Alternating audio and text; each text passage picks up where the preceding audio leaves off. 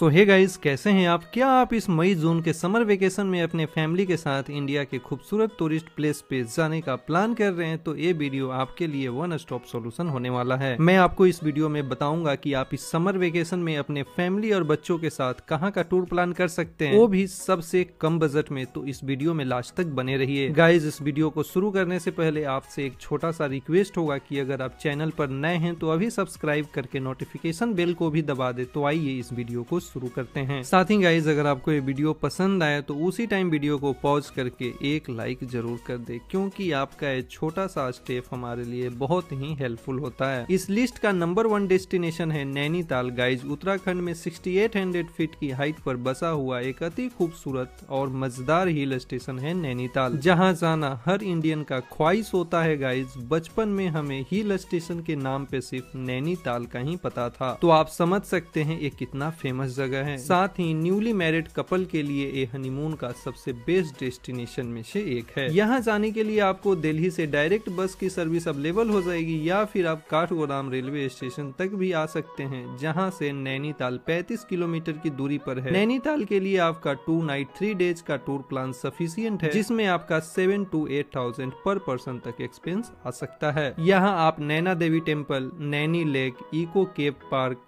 tiffin top, snow view point, zoo, Sankat Mochan temple Mukteshwar temple Hanuman Garhi temple Naina peak और mall road को visit करने जा सकते हैं। नैनीताल के नियर बाई में कैंची धाम आश्रम और जिम कॉर्बेट नेशनल पार्क भी अवेलेबल है तो आप यहाँ का भी टूर प्लान कर सकते हैं। साथ ही आप अगर नैनीताल आए हैं तो यहाँ का रोपवे को भी ज़रूर ट्राई करें। गाइज़, अब बात करते हैं इस लिस्ट के सेकेंड डेस्टिनेशन ऊटी की। गाइज़, ऊटी जिसका नाम बदल कर उदग मंगलम रख दिया गया है। ऊटी तमिलनाडु में नीलगिरी पहाड़ियों में 7400 फीट की हाइट पर बसा हुआ एक बहुत ही खूबसूरत हिल स्टेशन है, जिसका नियरेस्ट एयरपोर्ट और रेलवे स्टेशन कोयम्बटूर है। ऊटी में टॉय ट्रेन भी चलती है, जो मट्टू पल्लम से शुरू होता है। लाइफ में एक बार ऊटी ज़रूर जाए, साथ ही यहाँ का टॉय ट्रेन राइड को मिस ना करें, क्योंकि नीलगिरी माउंटेन रेंज चाय के बगान से ढका हुआ होने की वजह से इसका व्यू बहुत ही अमेजिंग है गाइज़ यहाँ के लिए आपका थ्री नाइट फोर डेज़ का टूर प्लान सफिशियंट है, जिसमें आपका टेन थाउज़ेंड पर पर्सन तक एक्सपेंस आ सकता है। यहाँ आप Ooty house boat rose garden संत Stephen church botanical garden Doddabetta peak Mudumalai tiger reserve Pykara lake Pykara waterfall tea garden और टी फैक्ट्री को विज़िट करने जा सकते हैं। अब आगे बढ़ते हैं इस लिस्ट के नंबर थ्री डेस्टिनेशन शिलोंग की ओर। गाइड शिलोंग मेघालय का कैपिटल सिटी है। यहाँ आप लाइफ में एक बार ज़रूर विज़िट करें। शिलोंग जाने के लिए आपको गुवाहाटी रेलवे स्टेशन आना होगा। यहाँ से शिलोंग की दूरी 135 किलोमीटर है। साथ ही शिलोंग का नियरेस्ट एयरपोर्ट शिलोंग में ही है गाइज़ तो आप अगर एयरपोर्ट से आते हैं तो आप डायरेक्ट सिलोंग आ जाएँगे। यहाँ के लिए आपका थ्री नाइट फोर डेज़ का टूर प्लान करना होगा, जिसके लिए आपका एट थाउज़ेंड पर पर्सन तक एक्सपेंस हो सकता है। शिलोंग में आप Umiam lake, elephant waterfall, wards lake Nohkalikai falls, lady Hydari park, Don Bosco museum और सिलोंग पीक को विज़िट करने जा सकते हैं। इस लिस्ट के नंबर फोर डेस्टिनेशन है दार्जिलिंग। गाइज़ दार्जिलिंग वेस्ट बंगाल में सिक्सटी फीट की हाइट पर बसा हुआ बहुत ही प्यारा हिल स्टेशन है। अगर आप एक बार दार्जिलिंग आ गए हैं तो यहाँ की प्राकृतिक सौंदर्य और